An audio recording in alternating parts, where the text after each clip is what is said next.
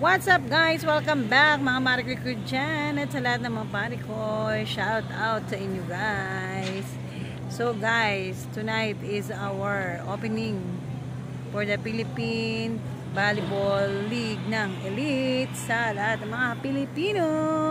Ayan guys, nandun lahat yung mga kasama namin. Naghihintay ng kanya-kanyang mga teams para sa aming nalalapit na opening volleyball.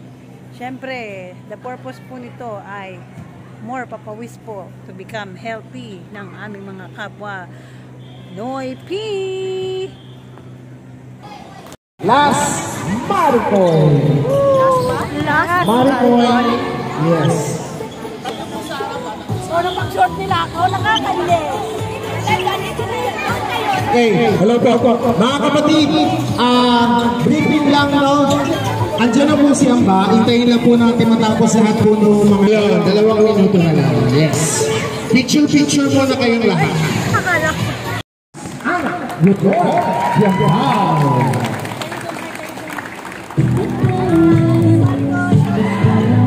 Ah, hindi ako mag-tiktok. Ang gagaling niya mag-tiktok, grabe. Ang gagaling niya.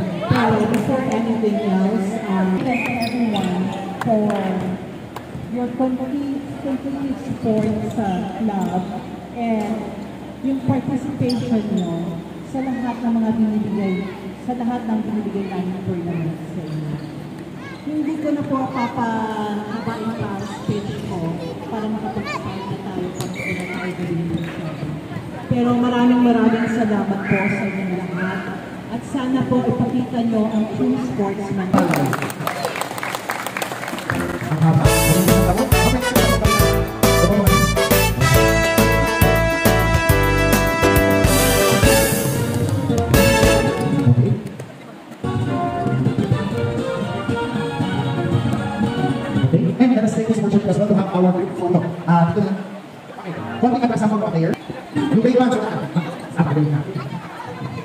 Officers of FA and PBE as well. Everyone po, pati mga coach, sa para po sa inyo. In and our sponsors, pwede po kayo. Sponsors, bosa?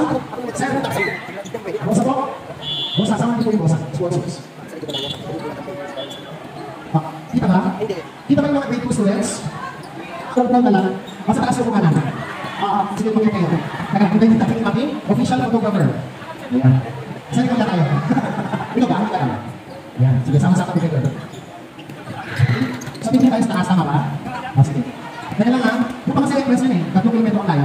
Okay, tayo tayo ng gagawin mo na mga mga Ayan na! Yes! Is my that? Pwede mo na, pwede mo na, pwede sa kamay, medyo yung kanina sa Okay, three, two, Okay, magkala tayo, okay! Freestyle!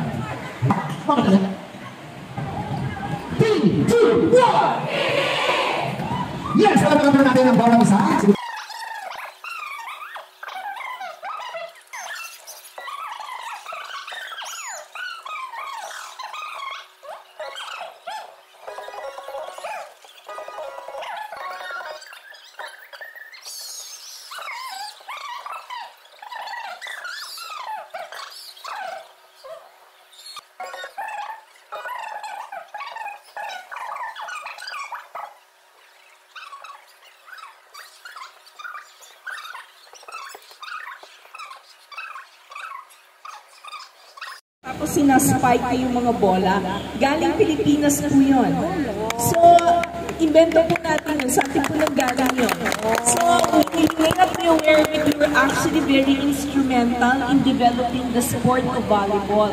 In fact, nung in-introduce na sa Pilipinas, no, sabay silang in-introduce noon sa bansa natin yung volleyball at saka ang basketball. So hanggang ngayon, linalaro pa rin natin ito at magaling po to, magaling po tayo in both sports. I think recently you all know that we won sa Gilas, ano, yung sa Asian Games. So I mean, you know, so you can see that sports is actually a way by which we can express how good we are at a certain sport. Uh, we can show our skill, our pride, and alam natin, malaking karangalan po pag tayo po'y nananalo. Meron din akong gustong um, i-share sa inyo when it comes to doing, when we do basketball. Um, I think alam ninyo, na tuwing naglalaro kayo ng basketball, tatlong beses nyo lang pwede tamaan yung bola, di ba, sa isang side. Alam niyo ba kung bakit? Kasi sa kasaysayan ng volleyball, nung unang panahon, wala pang ganyang limit. Linagay, linagay nila yung limit na yon dahil nung nagsisimulang ilaro yung volleyball na yan, ang mga Pilipino, napaka-democratic natin, alam mo naman, kailangan kasama-sama.